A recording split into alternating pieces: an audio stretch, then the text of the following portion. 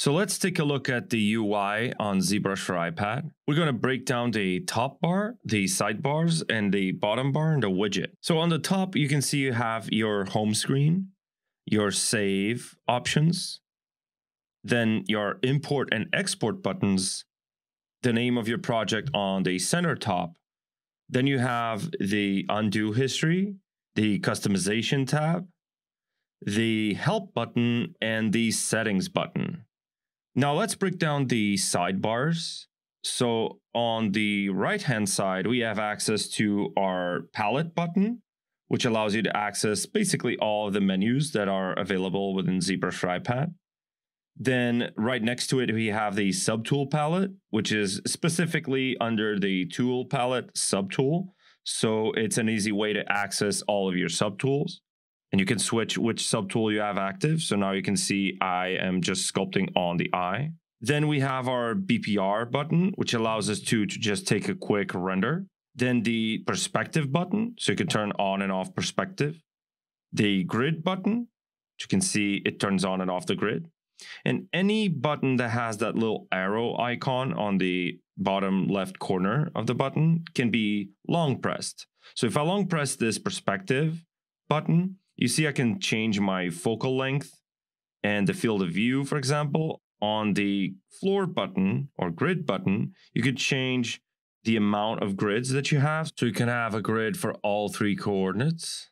Then you have your symmetry button, which allows you to sculpt symmetrically the local symmetry button and you can turn on and off dynamic mode. The fit button, which means that if your model is away from view, you can just click this and it will fit into your camera. You have your polyframe button. With a hold press, you can turn on and off the wireframe or the line and the fill or the polygroups. You have your transparency button, the ghost button, which allows your brushes to ignore transparent objects and the solo button, which basically isolates the subtool that you have selected. Now, on the left hand side, we have the brush palette, which lets you access all of the brushes that you have available on ZBrush for iPad. And you can see we've packed all the brushes neatly into folders. Then on the stroke palette, you can change the way the brush interacts with the model or the surface. So you can do a clay buildup like this, which is freehand, but you can also drag rect a single stroke of that brush and etc. You also have access to your alphas. This controls the actual shape of your brush. In the textures palette, you can access a multitude of textures, materials, which includes standard and matcap materials, the color palette, which allows you to tweak and pick a color for your model and pick a color for your brush as well. The mRGB button, which allows you to control the intensity of the color you're applying to your model. And also if you're applying a material, color, or a material and a color at the same time. Then you have your focal shift, which is basically a fall off of the influence of the brush.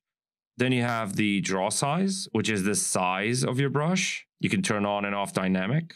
Then you have the intensity or Z intensity, which allows you to tweak the strength of your brush. So if I go up to 100, let me just change this back to freehand.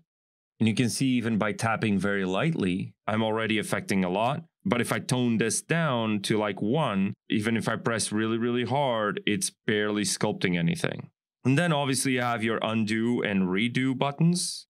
You can also access your undo history over here on the top. And you can see you can just scroll back and forth between your undo history.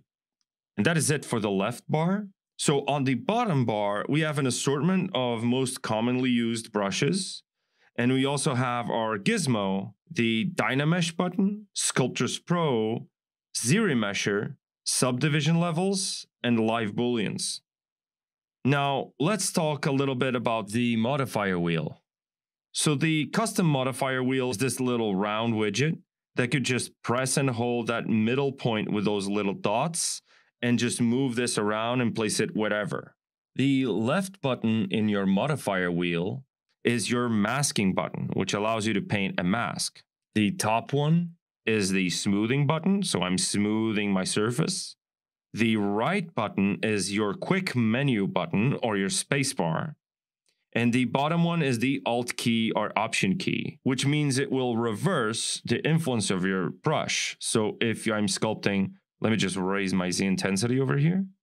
So if I'm sculpting like this, and now I press and hold this bottom button, I'm sculpting in the opposite direction. You can also press and hold one of these buttons and then slide your finger over to basically select multiple of these buttons at once.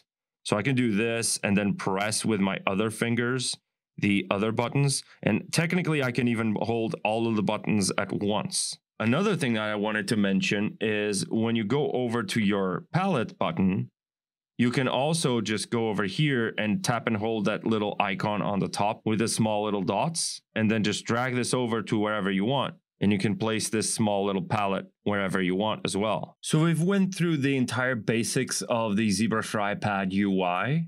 There's going to be a lot more to talk about when we're talking about customization with this UI.